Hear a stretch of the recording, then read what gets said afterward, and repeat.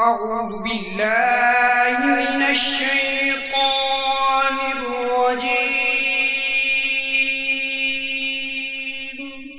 بسم الله الرحمن الرحيم.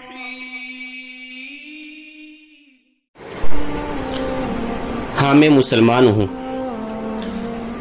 ہندوستان میں قلیل تعداد میں ہوں، لہٰذا پرائم منسٹر چیف منسٹر نہیں بن سکتا کیونکہ میری تعداد کم ہے اور جاتی واد زیادہ۔ لیکن میں I P S, D S P, commissioner, collector تو بن ہی سکتا ہوں۔ لیکن میں نکما ہوں، کیا کروں؟ مجھ سے گھنٹوں پڑھائی نہیں ہوتی۔ اگر میں پڑھنے لگ گیا تو چوراہوں کی رونق ختم ہو جائیں گی۔ اگر میں پڑھنے لگ گیا تو گٹکا تاس چھوٹ جائیں گے جو میں چھوڑنا نہیں چاہتا۔ اگر میں پڑھنے لگ گیا تو محلہ محلے کی رونقیں ختم ہو جائیں گی۔ کیونکہ سارا دن آوارہ گردی انہی گلیوں میں تو کرتا ہوں۔ ہاں کام نہیں ہے میرے پاس، لیکن اس سے کوئی فرق نہیں پڑتا۔ اللہ کے فضل سے دو وقت کی روٹی تو مل ہی جاتی ہے۔ ہاں میں مسلمان ہوں اور پیدا ہوتے ہی ایک ٹھپا لگ گیا تھا میری تشہیر پر کہ میں پنکچر کی دکان کھولوں گا، میں پرچون کی دکان چلاؤں گا۔ گاڑیوں کی مرمت کروں گا یہ زیادہ سے زیادہ ہوا تو دوسروں کی گاڑیاں چلاؤں گا۔ ہاں میں مسلمان ہوں اپنے بھائیوں کی ٹانگ کھینچنا، چوراہوں پر بیٹھ کر دوسروں کے ایپ تلاش کرنا، گالیاں دینا، تنقید کرنا میرا سب سے پسندیدہ کام ہے۔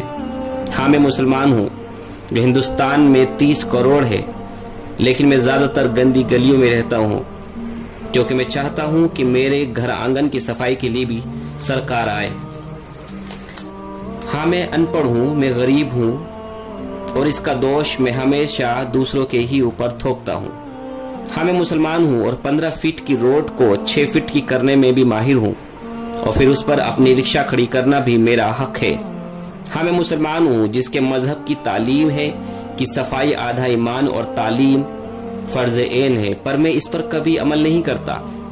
میں ہمیشہ سعودی عرب جیسے ملکوں کی دہائی دے کر اپنی بڑھائی بیان کرتا ہوں اور بڑا فخر کرتا ہوں، لیکن میں نے کبھی اپنے ملک میں اپنے اوپر کوئی سدھار نہیں کیا۔ اور نہ ہی میں کرنا چاہتا ہوں۔ آخر میں کیوں نہیں پڑھ سکا؟ کیونکہ میرے ماں باپ غریب تھے اور انہوں نے مجھے نہیں پڑھایا۔ اور اسی لیے مجھے گیریج کی دکان پر یا چائے کی دکان پر یا دوسروں کے برتن مانجنے کے لیے لگا دیا۔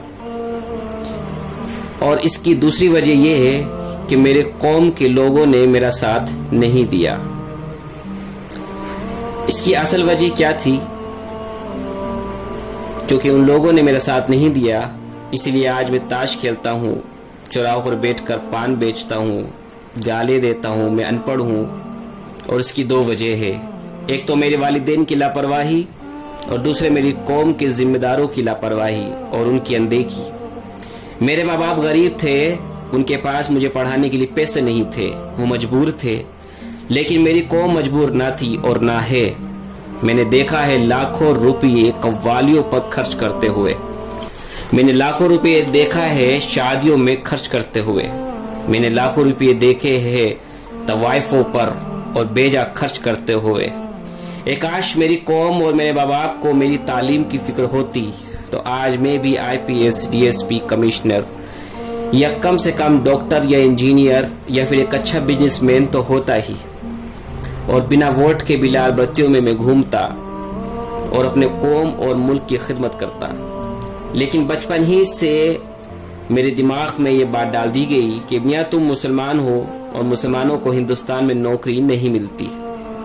لیکن میں تو یہ بھول ہی گیا کہ میرے نبی صلی اللہ علیہ وسلم نے ساری زندگی تجارت ہی کی اور تعلیم پر اہم زور دیا۔ پھر میں ان کا امتی ہو کر تعلیم حاصل کیوں نہیں کرتا؟ نوٹ۔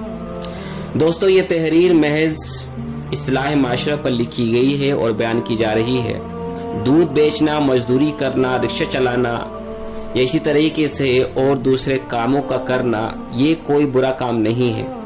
لیکن ہم لوگ اس کے لیے ہی پیدا ہوئے ہیں۔ یہ سوچ کر پڑھائی نہ کرنا یہ غلط ہے۔ لہذا خوب پڑھائی کرو، اچھی تعلیم حاصل کرو، تاکہ ہر پتھ پر تم ہی دکھائی دو۔ اور تمہارا شمار پڑھے لکھے طبقے میں ہو۔ لہذا اندھ وشواس اور جہالت سے دور ایک نئی زندگی کی شروعات کرے اور قوم اور ملک کی خدمت کرے۔ اور اپنی نسلوں کو بھی پڑھا لکھا کر اپنے آنے والے اتہاس کو ہم بدل دے۔ اور اس معاشرے کو ہم اختیار کرے جو معاشرہ ہمارے نبی صلی اللہ علیہ وسلم نے ہمیں دیا تھا۔ یہی ایک طریقہ ہے کہ جب یہ امت ایک نیا سویرا دیکھے گی اور اپنے پرانے وقار کو حاصل کرے گی اور دنیا اور آخرت میں سرخرو ہو سکے۔ دوستو، اسی پر آج کی ویڈیو کا اختتام ہوتا ہے۔ انشاءاللہ، ان قریب آپ سے دوبارہ ملاقات ہوگی، ایک اچھی سی ویڈیو کے ساتھ۔ تب تک کے لیے آپ لوگوں سے اجازت چاہوں گا۔ السلام علیکم ورحمۃ اللہ وبرکاتہ۔